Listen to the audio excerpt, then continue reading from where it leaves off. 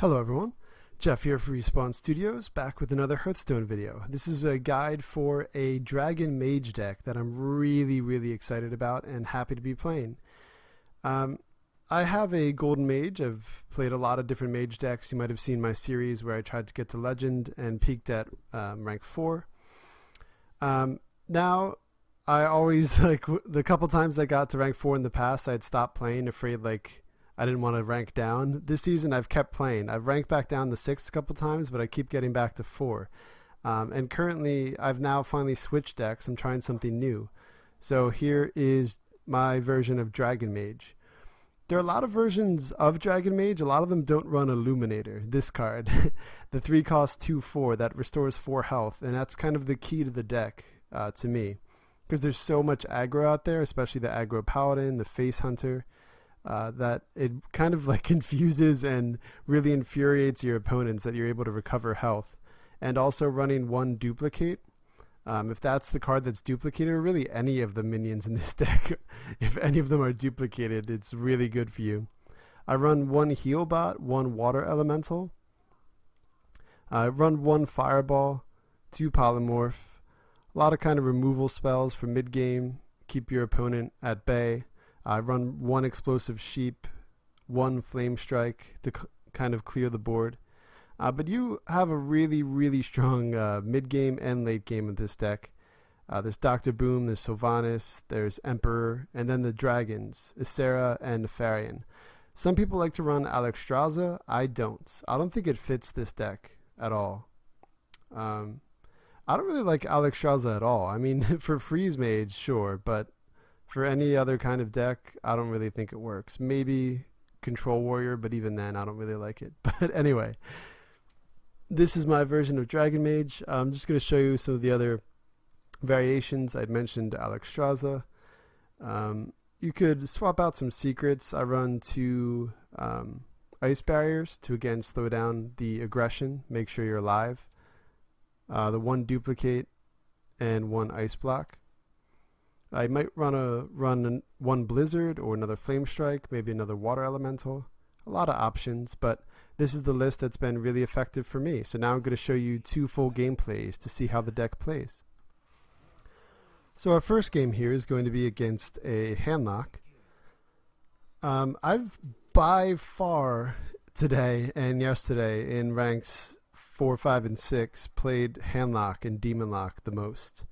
I'd say at least 70% of my games, and that's not an exaggeration, of like the maybe 80 games I've played in the last few days, probably like 60 to 65 of them have been against some form of Warlock. it's nuts. Um, you would think this deck might not do that well, um, especially if they have kind of like the aggro component where they might have some of the Imp Gang boss or eggs but it does really well. Um, you have the sheep, you have frostbolts, um, and because that's one of the great things about this deck. People either think you're playing tempo mage or freeze mage um, because of the starts, but so they do weird things like that. They throw down a taunter with nothing else on the board, so you could just clear it.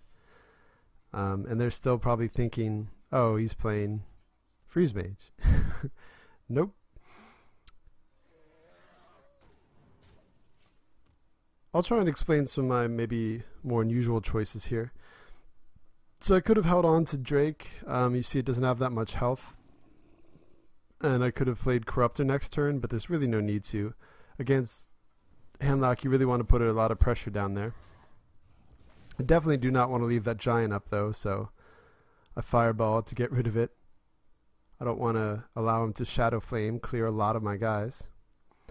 Uh, this game actually goes pretty long, though but we'll get to see a lot of the uh, flexibility of this deck, which is also what Handlock is known for. Okay, so I'm going to freeze this guy. Just again, try to keep pressure up, make him have to react instead of holding on to all of his cards, which is what Handlock's trying to do. Be able to play big uh, health drakes or a mountain giants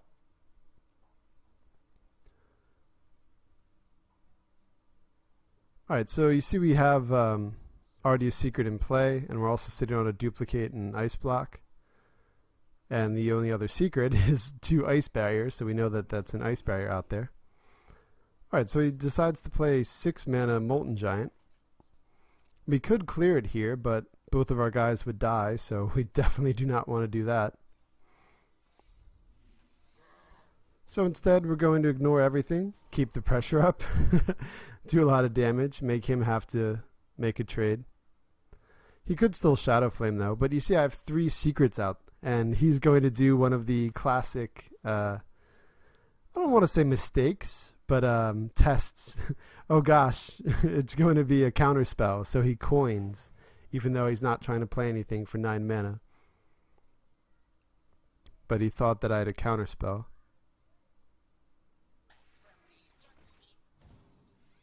Okay, Healbot. That's fine. We have plenty of ammunition in the deck.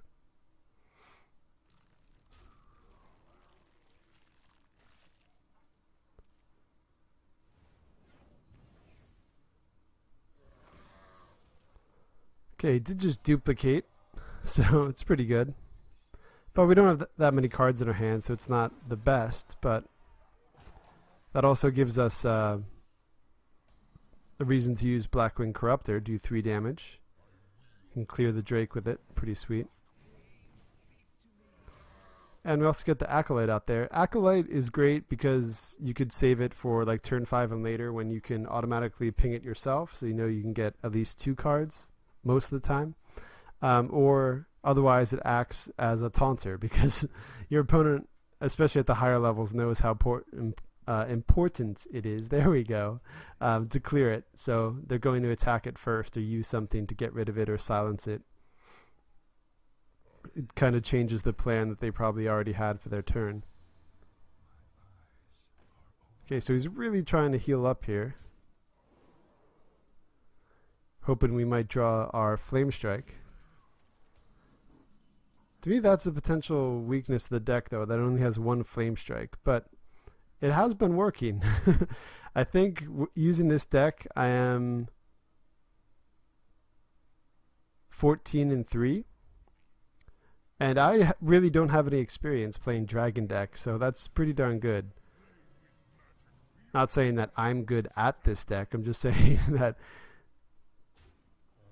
it's not too difficult to master. Though I do have 2,000 like 500 ranked wins. That's not even that much. I know there's a few players that have 10,000, but do have a lot of experience, especially with Mage though, so I'm able to use that. Okay, I got uh, probably the greatest thing I could have asked for with Nefarian, Twisting Nether, especially against the Handlock just destroy all of his guys, and perfect, he floods the board. So I can kill five minions now. and he's already used a Molten Giant and a Mountain Giant. He's already used a Healbot. This is going to clear Loatheb. This will clear his other um, Azure Drake, or not Azure Drake. oh my gosh. so he starts to really freak out here. He says your soul's shall suffer the taunt, um, the threaten. He uses that about 20 times throughout the rest of the game as he gets progressively more upset. For some reason, he runs Alex Alexstrasza in Handlock. Kind of uh, bizarre here. But we have a lot of answers to it. We're first going to play a Drake, we're going to BGH it, and we're also going to play an Illuminator to recover health. so everything he hoped to do is now out the window. We recovered health, his only guy is gone. And we have a Twilight Drake out there. Okay, Dr. Boom. We don't really have an immediate answer for it right now. But there are two polymorphs in the deck. We could um, trade in the 4-2, maybe draw our other Frostbolt. We could trade in two guys and ping it once. Few options, but perfect. We draw Flame Strike. Now, because of the boombots, I almost played Flame Strike right away, um, but the boombots might kill BGH before I'm able to make that trade, so just to play it safe, I do that first. so I taunt him, uh, hello there, because I know he's already kind of mad. Getting your opponent on tilt is always good. Make them make even more misplays.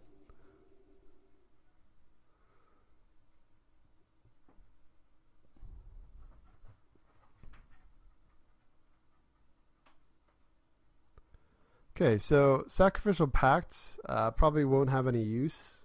His only demon is probably Jaraxxus, and he's not obviously gonna have like a Voidwalker to get Jaraxxus out on its own, and unfortunately it can't kill it if he becomes Jaraxxus.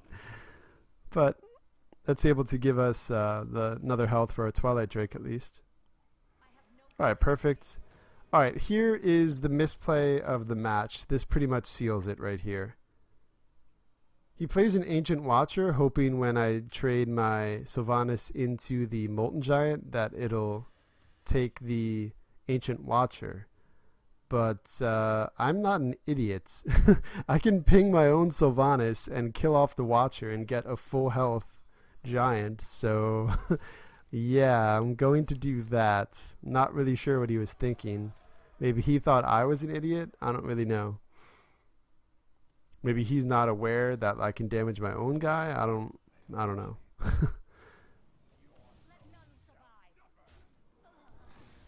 but there we go. Perfect. Thank you for the full health Molten Giants. We're also going to slap down a low health Twilight Drake, but it's another guy out there. He's already really low on health.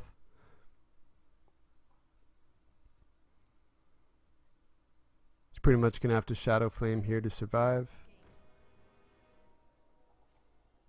And he does it with a Sylvanas, so he's actually able to take the giant back. We do have a polymorph though, uh, if we need it, though the explosive sheep gives us some other options. Yeah, we're going to take 8 damage, but our health isn't really an issue right now. We already have an ice block up. He only has 3 cards, and all of his other giants are gone, so we're fine. so I decided again to just hold on to the polymorph in case he has any other big guys, because he already played Alexstrasza, so I'm not exactly sure what he's running. And there we go, perfect. Can use Polymorph to get rid of the Sludge Belcher, trade in the sheep to the 1-1 sheep, and take out the giant. Also can slap down Emperor. so this is going almost ideally for me. We are out of cards, but we don't really need much else. If we draw a Fireball, it's over. But that's the versatility of this deck. Um, a lot of people like to run Arcane Intellect, but if you've seen any of my videos in the past, I have talked about how I think that's one of the worst cards in the game. I know a lot of people disagree, but I just think it's stupid. Um, so I know there's like a, a lack of card draw. There is the Acolyte of Pain to get some card draw. There is Nefarian, which gives you two of your opponent's spells, but um, you don't really need more cards, I found. Again, I, I have a limited experience. I've only played about 20 games with the deck, but I've never really gotten to a point where I've run out of cards where I'm like way behind at that point as well, so I haven't really teched in anything yet. Okay, so he heals again, but uh, he's already so weak, it doesn't really matter.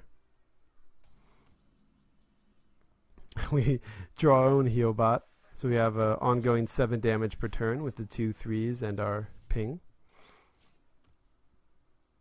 And he's pretty much dead. he's already used the Hellfire, a Shadow Flame, his Giants, Taunters. like He's used the Sylvanas. He's used Dr. Boom, Alexstrasza.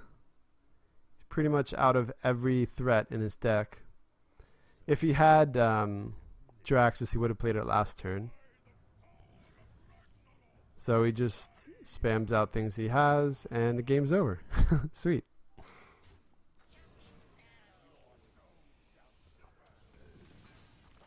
So I would have had exactly 5 damage this upcoming turn anyway, but he concedes. So there we go. Our first example game of how uh, you might play this deck and how it works against the other popular decks. And for our second and final example for this video, we will be facing a Mech Shaman. This is actually the very next game. and here we go. Uh, the whole strength of Mech Shaman is that it spins out of control very quickly. So you want to keep um, in your mulligan anything that could do early damage. So I'm going to keep Explosive Sheep. We're looking for a Frostbolt. Even a Mad Scientist would be okay. Illuminator and a Secret, not bad. If we make it to turn 6, we could at least recover 4 health. And we have the Sheep. Perfect. And we draw a Frostbolt. So I like to start nice, give him a greetings. Maybe he's not playing Mech Shaman, trying to over aggro and play a not thinking deck. I've also gone on rants about how stupid I find aggro de- super aggro decks like Face Hunter and um, Paladin. Mid range Paladin and mid range Shaman I have respect for, but otherwise, no. Okay, so we definitely want to clear the Mech Warper. We don't want him to get out tons of mechs, so we're going to use our Frostbolt. We definitely do not want to play the Sheep yet. And there's no reason to play the Mad Scientist. He'd be able to get a value trade and still get mechs for lower cost the next turn.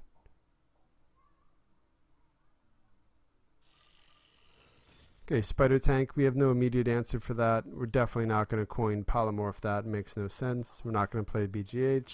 so we're just going to play Scientist. Um, so if he trades in, we have Sheep next turn to clear, but that's only one guy. We're hoping he's going to play something else. Like a Whirling Zap-O-Matic. Perfect. Thank you. and he's even going to totem. So perfect. We get to clear three enemies, including their kind of ultimate, the Whirling Zap-O-Matic, which gets the most out of control. They can use uh, the one cost spell to give it plus three that turn, use both of them, do 18 damage with one of them in one turn. It's insane. Or if their um, weapon, there we go, Power Mace, um, runs out, it gives it plus two, plus two, so it's able to do 10 damage per turn. No, thank you. So I'm showing Blackwing Corruptor. I'm hoping I'm going to draw a dragon to do 3 damage, but unfortunately we aren't. We are sitting on Polymorph, but right now it's only a 3-2. Um, not really that concerned about it. My health is okay. He only has 3 cards. We have a lot of things coming up. We could just play Illuminator and recover health. So we're going to go with that play. I'm even going to coin out an Ice Barrier just to give us more health, more time to draw into something better. Maybe a dragon.